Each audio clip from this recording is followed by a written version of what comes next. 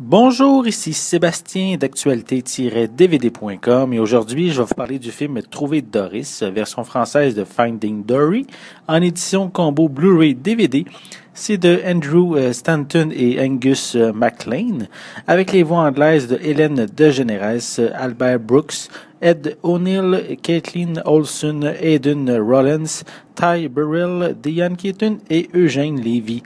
C'est un film de Pixar qui est distribué par Walt Disney et sorti en magasin le 15 novembre 2016. Dans cette suite de Trouver Nemo paru en 2003, Doris, le poisson chirurgien qui souffre d'une perte de la mémoire courte, se rappelle un jour sa famille.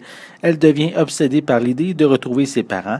Elle se lance alors à leur recherche, accompagnée par Nemo et Marlin.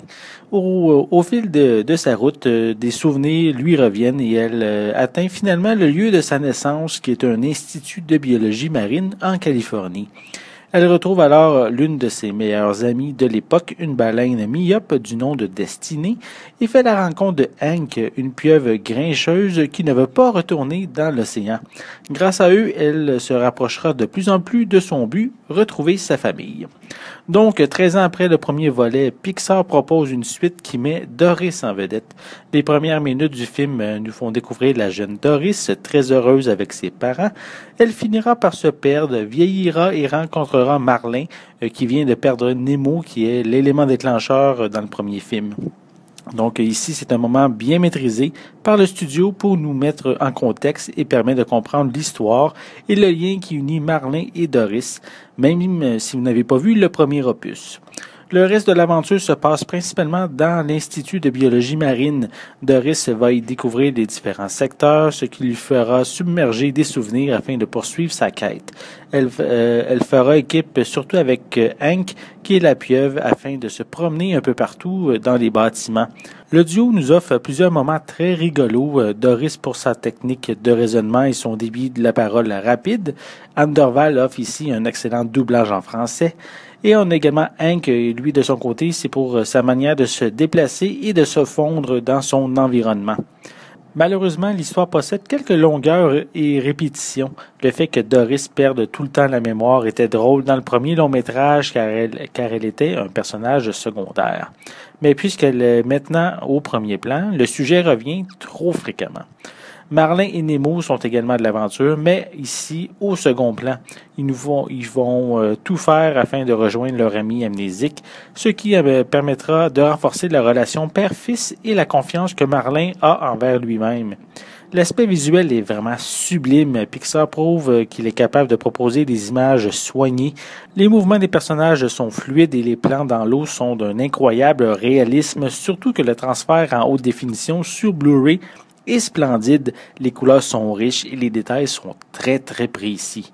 Pour les pistes sonores, elles sont disponibles en anglais DTS HD 7.1, français et espagnol 5.1 pour l'édition Blu-ray et anglais et français 5.1 pour l'édition DVD.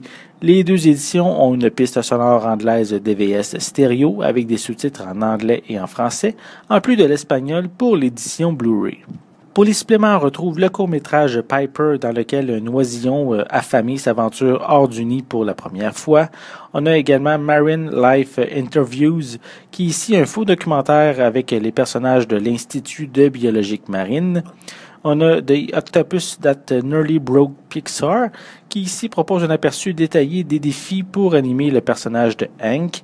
On a également What Were We Talking About, qui explique comment ils ont construit l'histoire autour d'un personnage qui perd la mémoire. On a également Animation and Acting qui permet d'aller dans les coulisses de l'enregistrement des voix des personnages. On a Deep in the Kelp euh, qui offre un bref aperçu du travail de la production lors de la recherche sur de véritables animaux afin de les aider pour le film.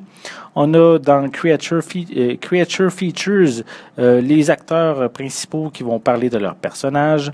On a un commentaire audio avec les réalisateurs et la productrice Lindsay Collins. On retrouve sur le second disque un behind the scene en cinq parties, soit euh, le processus de dessin des personnages euh, sur le thème musical de Doris. Euh, on a également sur les anomalies générées par ordinateur, qui est un genre de bloopers. On a l'histoire de Trouver Nemo qui est expliquée avec des émoticônes. On a également un segment qui propose quelques moments rigolos.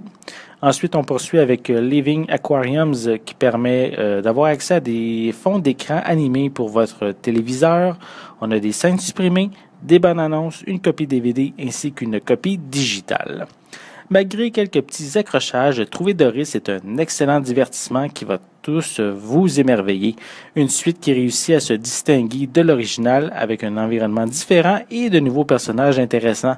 Un film que je vous invite à vous procurer en Blu-ray pour profiter pleinement de sa qualité visuelle. C'était Sébastien. Merci et bon visionnement.